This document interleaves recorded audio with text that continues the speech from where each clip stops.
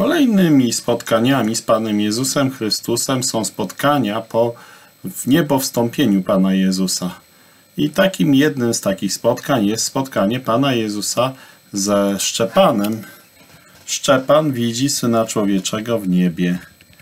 To spotkanie jest opisane w Dziejach Apostolskich, 7 rozdział, 51 werset do 60. On zaś, będąc pełen Ducha Świętego, utkwiwszy wzrok w niebo, ujrzał chwałę Bożą i Jezusa stojącego po prawicy Bożej i rzekł, oto widzę niebiosa otwarte i Syna Człowieczego stojącego po prawicy Bożej. Człowiek po prawicy Boga.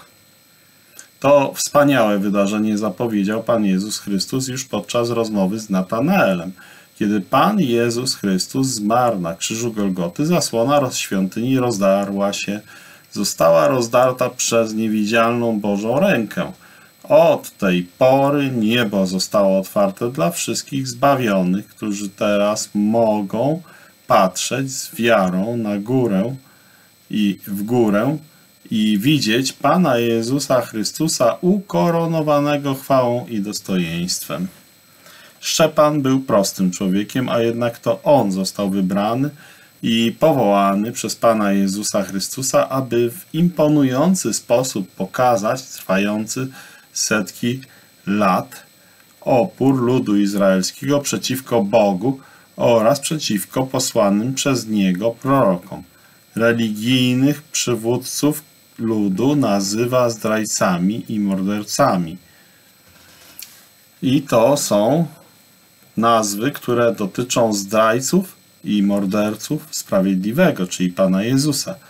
Zaświadczył też przed Radą Najwyższą, że ten sprawiedliwy jest synem człowieczym stojącym po prawicy Bożej. Za to świadectwo Szczepan został ukamienowany. Przed tym samym zgromadzeniem Pan Jezus jako oskarżony mówił, że jest synem człowieczym i niebawem zasiądzie po prawicy Boga. Również za tę wypowiedź Pan Jezus został ukrzyżowany.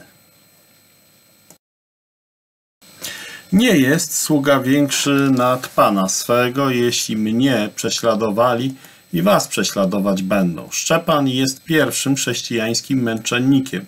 Niezliczona ilość jego naśladowców oddała swoje życie za świadectwo o Panu Jezusie. Zginęli od miecza, byli rzucani na pożarcie dzikim zwierzętom, zrzucani ze skał i paleni na stosach. W ten sposób tysiąckrotnie spełniło się słowo Pana. Religijni przywódcy Żydów, którzy przysłuchiwali się Szczepanowi, krzyżując Pana Jezusa i odrzucając argumenty przemowy Piotra, wybrali kierunek, z którego już nie mogli zawrócić, nie kompromitując się. Poza tym ich serce przez nieposłuszeństwo Słowu Bożemu stało się tak zatwardziałe, że już nie mogli naprawić swojego złego postępowania. Wprawdzie potrafili intelektualnie pojąć argumentację Szczepana, lecz nie byli gotowi na pokutę wobec Boga. Ponieważ prawda została im udowodniona i trafiła ona do ich sumień, nie byli w stanie nic odpowiedzieć na słowa Szczepana. Oni jedynie zgrzytali zębami, co było zapowiedzią ich morderczych zamiarów. Pomimo takiego sprzeciwu, przeciwko Duchowi Świętemu, przeciwko Duchowi Bożemu, Szczepan dokończył swoje świadectwo, gdy przepełniony Duchem Świętym spoglądał w niebo. Wierzymy, że w tym momencie rzeczywiście oglądał chwałę Bożą. Jest to chwała łaski Bożej, którą zapowiadali i wychwalali aniołowie podczas narodzin Pana Jezusa Chrystusa. Poza tym Szczepan widział Syna Człowieczego stojącego po prawicy Boga, prowadzony ziemskimi okolicznościami i mający przed swoimi oczami niebiańską chwałę, daje całemu ludowi izraelskiemu ostatnią ofertę łaski. Oto widzę niebiosa otwarte i Syna Człowieczego stojącego po prawicy Bożej. Ważność tej łaskawej oferty zostaje potwierdzona faktem, że Pan Jezus Chrystus stał po prawicy Bożej. On był gotowy natychmiast okazać swojemu ludowi łaskę. Jednak oni nie chcieli go słuchać i jednogłośnie zwrócili się przeciwko niemu.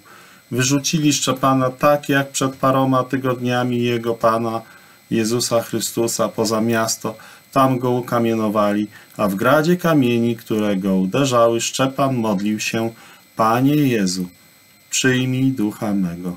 A klęcząc, prosił jeszcze, Panie, nie policz im grzechu tego. Dla wierzących czasu łaski niebo jest zawsze otwarte. Oczami serca widzą w nim Jezusa Chrystusa ukoronowanego chwałą i dostojeństwem. Z otwartego nieba wypływa do nas łaska i miłosierdzie od naszego arcykapłana, którego wielokrotnie możemy doznawać w ciężkich sytuacjach, kiedy sami jesteśmy bezsilni. Jako święci kapłani występujemy i wstępujemy przez otwarte niebo do Boga. I ponieważ wstępujemy przez otwarte niebo do Boga, to po to, aby przynieść Mu ofiarę chwały i dziękczynienia. Jednocześnie przychodzimy przed tron łaski, aby błogosławić Boga, aby przedstawić Bogu nasze prośby.